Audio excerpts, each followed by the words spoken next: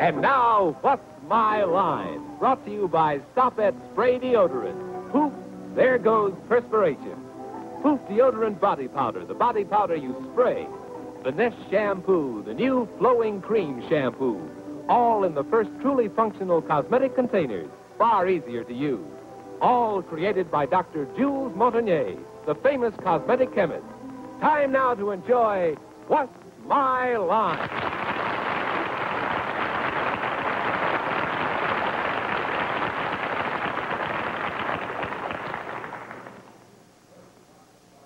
Today is back from a visit to San Antonio, Texas, Miss Dorothy Kilgallen.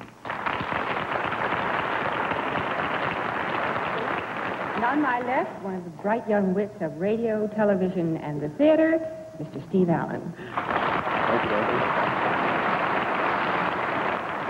Guess you look pretty quick, didn't you? and on my left, one of the lovely ladies of radio and television who tomorrow will spend a day in Dayton, Ohio, Arlene Francis.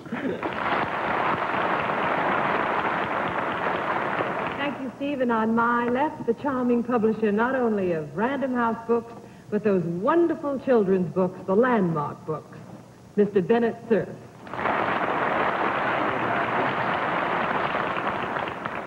And on our left is our peerless newscaster, panel moderator, leader, and occasionally misleader, Mr. John Charles Daly. Thank you, Bennett. Good evening, ladies and gentlemen, and welcome to What's My Line, presented by Stopette. Once again tonight, we're going to uh, have some visitors who brought with them some very pleasant, we hope unexpected and difficult occupations, so they'll give the panel some trouble and carry home some prizes. We'll have a famous guest challenger before our experts over there a bit later on, but now it's time to get going with the first of the experts' uh, jobs. That is, we bring out our first challenger, and they've got to find out what the line is. So would you sign in, please, sir? Jacob. Jacob Hertzberg. Is that right, sir? Well,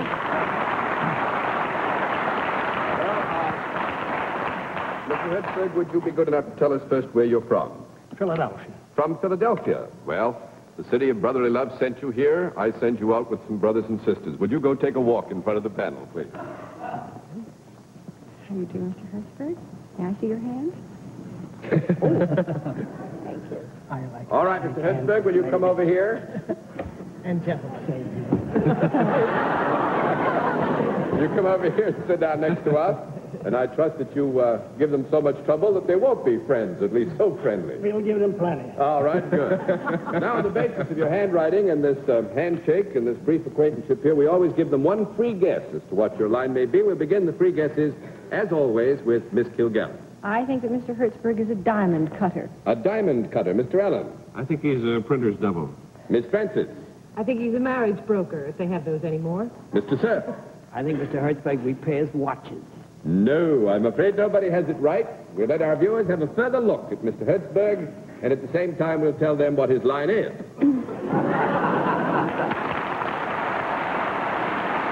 but um, the panel will have to uh, do some digging, Mr. Hertzberg. The rules are uh, very simple. Every time you get a no answer out of them, it'll cost them $5. We'll keep a record of that up here. That's all, five dollars? Only $5. and 10 of these no's, and you've won the game.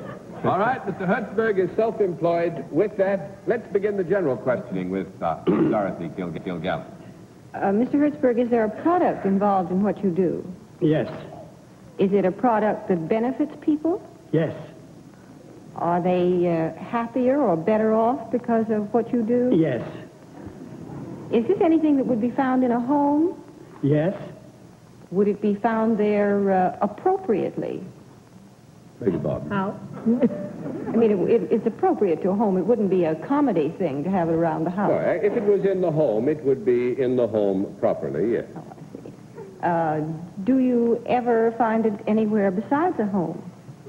Yes. Is it smaller than a piano? No. Whoa! wait. Is it smaller than a piano? Yes. I got a wonderful picture in my mind now, but we have to go off the game. You go on, Miss Is it quite a bit smaller than a piano? Is it what? Quite a bit smaller than a piano. Is it quite? Yes. Is it smaller than an accordion? Yes. So come right out with it. Try a harmonica. Thank you, Beth. Is it bigger than a harmonica? Yes. Uh, Then it's something I could carry around with me. Is it something you could carry around with you? Mm-hmm. Yes. Would it be inappropriate if I walked down Fifth Avenue carrying it? No. Now, wait a minute. Let's, let's have that question again, because this is very tricky. Would you ask that again? Well, I was wondering if it would look inappropriate or odd. Would people notice it? Uh, and perhaps remark on it if I walked down Fifth Avenue carrying whatever it is that Mr. Hertzberg. If you walked down Fifth anything- Avenue carrying it, would it be inappropriate? No. I'm glad to get that no. One down and nine to go, Mr. Allen. It's something then that would be it would be quite normal for a woman to be seen on the street with. No. No, I don't think we can say it would be quite normal because to the degree of usage here, we must take some balance and we cannot allow imbalance into uh, that sort of... of- Good eye. All right, Miss Benson. Is it a useful product? Yes. Is it also decorative in some way? Yes. Uh, but uh, should it be uh, left in a room rather than carried around? No. Three down and seven to go, Mr. Cerf. Mr. Hertzberg, would you describe this as an article of apparel of some sort? Yes. Is it uh, worn more by one sex than the other? Yes.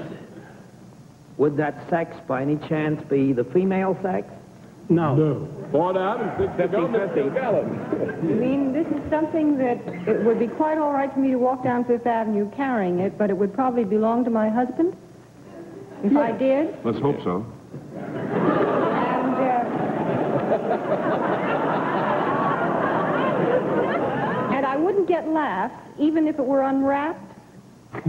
Well, now you're I- getting into an area which, uh, if you would like to explore it further, we'd be very happy to help you. Well, John, when I described walking down Fifth Avenue, and I don't know why I'm making such a production about walking down Fifth Avenue, but when I described this, uh, you said that it wouldn't startle anybody. And I was assuming, and I hope you were assuming, that I wasn't carrying this in a box or wrapped up and concealed. I meant in full view. I would say this. There is no reason why you should not, if you had considered such a purchase for your husband, carry the object down Fifth Avenue. Unwrapped. You might find one or two citizens who would turn and say, well, but it's not untoward per se. When a gentleman wears this, uh, is it visible usually? Yes. Does he wear it at any particular time of the day or night? Yes, it's a circumstance. No, no, no, no, no. We'll have a small conference. Wait a minute. No. Hey, it's five down. Oh, what? Five down and five to go, Mr. Allen. and I'm going to give you all one minute and a half more on Is this. it worn from the waist up? Is it one No. from the waist up? That's six down and four to go, Miss The Francis. one from the waist down. Yes. Wow. Very good. And it shows. It has been elicited that it shows. Is it in the pants family? No. Seven down and three to go, Mr. Smith. Trousers, excuse me. I wonder. That's all right. I'm awfully sorry. These trousers were made just right. Would this then, Mr. Hertzberg, be worn below the knee? Yes. In the region, possibly, of the foot? Yes. Uh, has not, I, I take it this has nothing to do with, with toes, since it's visible. No. Yes, you take it correctly that it has nothing to do with toes. no. Might this be worn somewhere around the ankle? Yes. Is this an article of clothing that is worn only by fops and very fancy people like spats and spat line?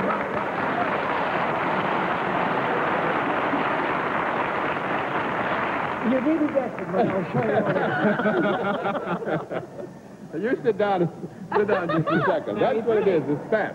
Now, wait a minute, Bennett. You have uh, learned that it is a spat, and uh, now you have to tell us what Mr. Hertzberg has to do with spats. Well, he looks like to me like a magnificent spat manufacturer. That I think we'd have to buy. Mr. Hertzberg makes men's spats. Here is a sample of one of them. And, uh, Mr. Hertzberg, you gave them a rough time. Congratulations. I'm glad of it, you know, but it wasn't rough enough. It wasn't rough enough. Well, you did pretty well with the prizes. Thanks for being our guest. It was very nice to have you on What's My Life.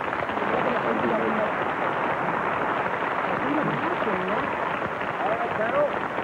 A very beginning. Now let's see what you can do with another challenge. Will you sign in, please, ma'am? Norma. Norma Moya. Is that right? Where are you from? Wapwallopen, Pennsylvania. Do that again. Wapwallopen, Pennsylvania. From Wap Wallopin, Pennsylvania. well, uh, if we're going to give the panel a walloping, you'd better walk down there in front and let them have another look at you, please. Can I shake hands with you? First time I ever shook hands with anybody from Wapwalla. All right, Miss Moyer, would you come over here now, please, and sit down next to me? And as I think you know, at this point, we always give the panel one free guess as to what your line may be. We begin the free guess, as always, with Miss Dorothy Kilgallen. I think she does fancy beading. Fancy beading? Mm-hmm. Mr. Allen. I think she's a dock walloper. Miss Francis. I think she has a roadside restaurant. Mr. Cerf. I think she names Pullman cars. No, nobody has it. We'll let our viewers have another look at Miss Moya. At the same time, we'll tell them what her line is, but the panel's got to dig.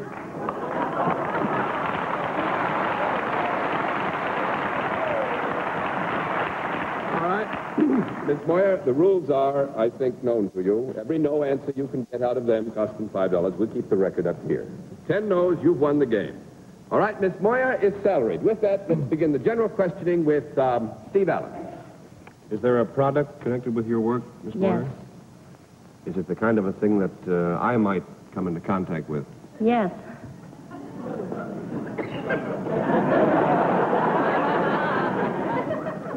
Uh, if I did come into contact with it, might uh, I possibly derive a certain amount of pleasure from? I might. I see. Is it possible that a young lady can also use this?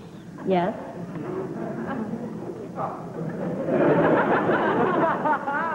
Is it in any way connected with uh, recreation or relaxation? Yes. Yes? Let's see. Is wood any part of its makeup? Yes. Uh, might it be nice to have one of these around a lake or a river, say, uh, during a summer vacation, something of that sort? Yes. To make sure I'm on the right track. Uh, are these big enough for people to get into?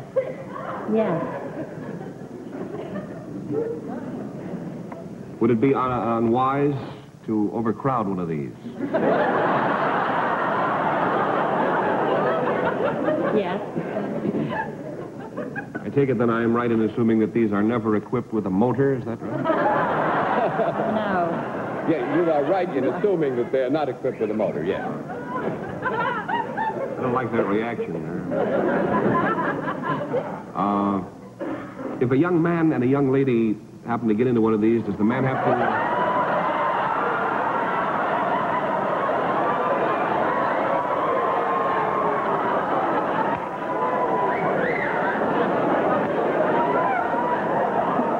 Next question. Now, what I wanted to get at was, and I guess I'm not going to get at it. I seem to be way off the track. Arlene, would you like to take over? All right, Miss Francis. Well, that's quite a can of tomatoes you just had. I wanted to know if he had to do the paddling. That's all I was trying to find out. Is this something that should be... I'll do it. Is this supposed to be kept on land? Is this supposed to be kept on Or is it found on land, this product? Yes. Is it found on land, preferably to being found on sea? No. Mm, Well, have a small conference. I've been wanting to anyway.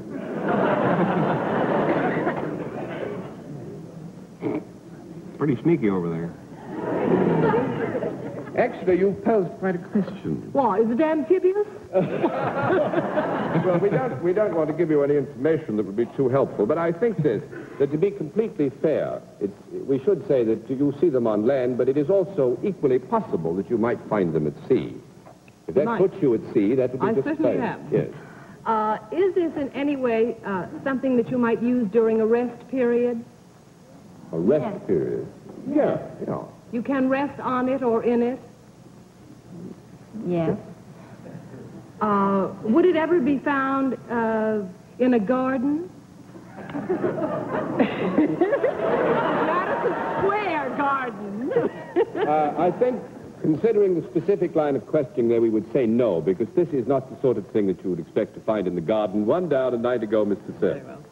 Miss Moyle, could this possibly be in the sleeping bag family? The sleeping bag family? Would people sleep in it or on it? They could. Well, do they sometimes sleep in it or on it? Yes. Is it soft? Well? well, give us what's hard, and we'll tell you whether it's soft. Well, the, the, all the girls on this program are not hard. They're soft. Ah, it's two down and eight to go. Thank you for the compliment, but it ruined you. Uh, what have we determined now about softness? And incidentally, John, you owe the young lady another five dollars. oh, good. Three down, seven to go. Forgot to flip it to Steve. No, no, that's enough. Um, have we dis- dis- dis- have we established that this is softer than we are or harder? I, I was Actually, confused um, by that last question. This was so difficult, I just flipped the card anyway. Why don't you leave it there? Oh. It is Well- not hard in the sense of terrible hardness. It is not soft in the sense of terrible softness. Just comfy, would you well, it could be. say? No. Well, is it meant to be, or, or let us say, is it not incongruous when somebody sleeps on or in this thing? Yes, it's, it's not incongruous, would you say? Yes. Yes, it's not incongruous. No. Go on. Does it have, does it have then any other use? Does it have any other use? Yes. That's, thank you. That's four down and six to go, and I'm going to give you one more minute, Mr. Allen. This uh, hard and soft confusion seems to me that it might be something like a, a canvas cot or something, which, uh, am I in the right neighborhood, or, or should I get a cab? Yes, I think, I think you're in the right neighborhood, yes. Well, uh, is it a canvas cot of some kind? Uh, Yes, Yes. I think we have to buy. Army Actually, cot, the, the Army cot is the general name. Yes, that's fine, Steve. But now you still have to tell me what Miss Moyer has to do with canvas cot. I'd rather have her tell me, but... uh, do you sell canvas cots, army That's- cots? Sell them, did you say? That's five down and five to go, Miss Francis. Do you test them? That's six down and four to go, Mr. Cerf. You make them. Well, something to do with the making. You have to be more specific. Do you uh, put together the canvas and the cotton? No. That makes it seven down and three to go. We're looking for one word. Does she inspect them? That No. makes it eight down and two to go, Mr. Allen. Uh, she paints them. That's nine down and one to go, Miss Francis. She stitches them. Stitches is very close, but that is a no. That's ten down and no more to go. She rivets them. She puts those rivets.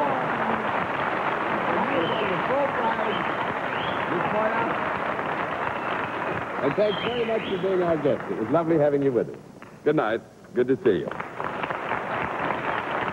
Program, the appearance of our mystery celebrity. My friends in the panel would know our guest on sight, so we have, as always, provided them with blindfolds. Are those blindfolds all in place, panel? Yes, sir. Good. Will you come in, mystery challenger, and sign in, please?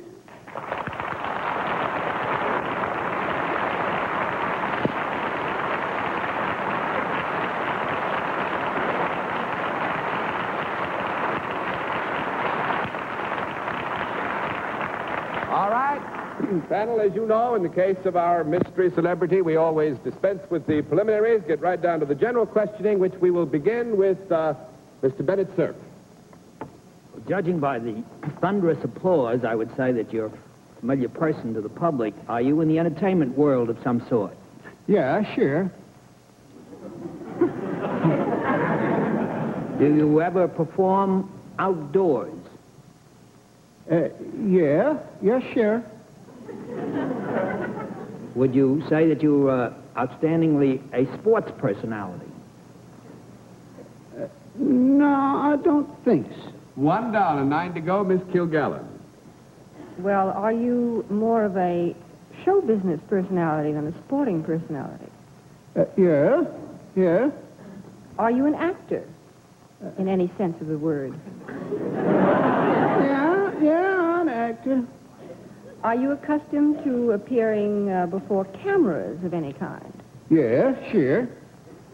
Do you appear before motion picture cameras, or have you ever? Yeah, Have you also appeared on television? yeah. Uh, when you appear in the movies, are you a leading man? When you appear in the movies, are you a leading man? Yes, I am. You get the girl in pictures sometimes? Do you get the girl in the pictures? Yeah, yes. Uh, would you describe yourself as a romantic type? No. Two down, David. Mr. Allen. Uh, do you also uh, amuse people? I mean, is it part of the nature of your work to, to be funny sometimes in certain roles? Yeah, yes, I do. Uh, might you even be either loosely or very definitely referred to now and then as a comedian? Yeah, sure.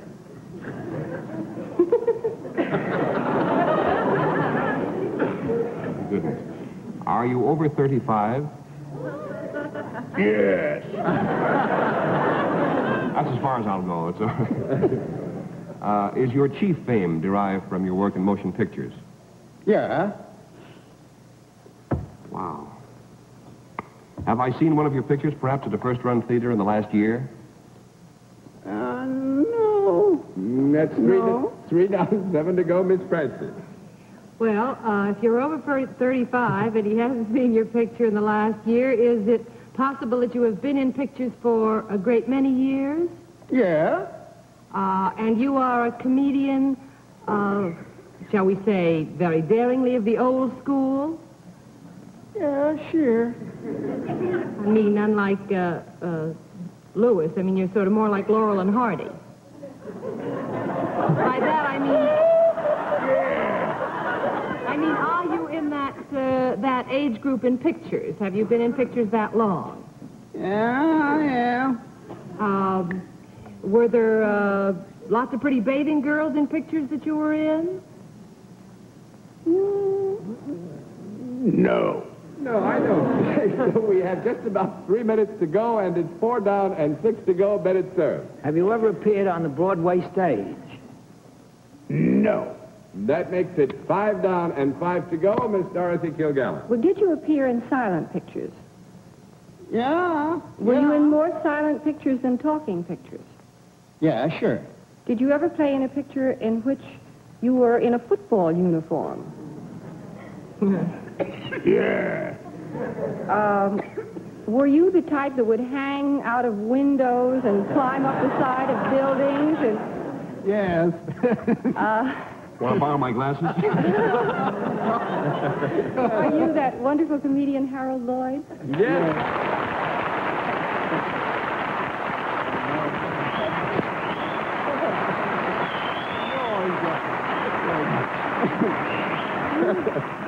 well, actually, uh, one of the nice things about uh, Harold Lloyd's being with us tonight is, and you talking about him appearing in, in uh, football uniforms, is this is one of the great classics of, of uh, moviedom. That wonderful picture of yours, the freshman.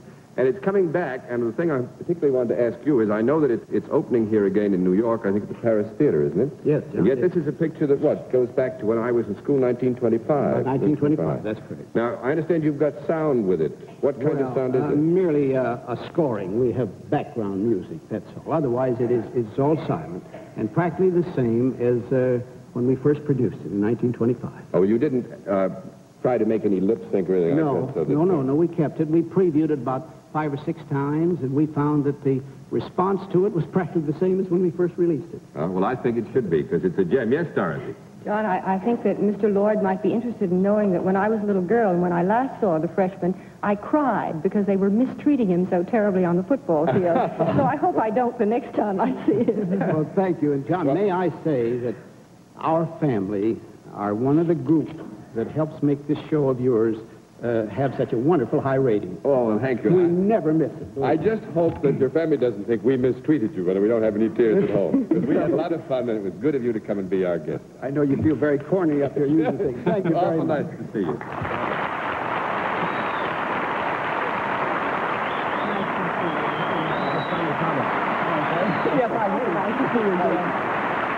In just a moment, ladies and gentlemen, we're going to give you a preview look at one of our guests whose line our panel is going to be asked to try and identify on next week's program. But first, here is some excellent advice. Stay tuned. There's more black and white overnight coming right up. This Craftmatic Model 2 will be asked, What's my line by this man? Would you know what his occupation is? Could you spot his line? Well, for these answers and answers to a lot of other interesting questions, be sure and be with us again next Sunday night at 10.30 p.m. Eastern Daylight Saving Time, when once again Stopette invites you to play What's My Line? For other localities, check your lo- local listings for the date and time of our weekly series. And don't forget What's My Line on Wednesday night on CBS Radio. Till we see you again, this is John Daly saying good night, Dorothy. Good night, Steve. Good night, Arlene. Good night, Bennett. Good Night, John. And good night, ladies and gentlemen. Thanks for being with us on What's My Line?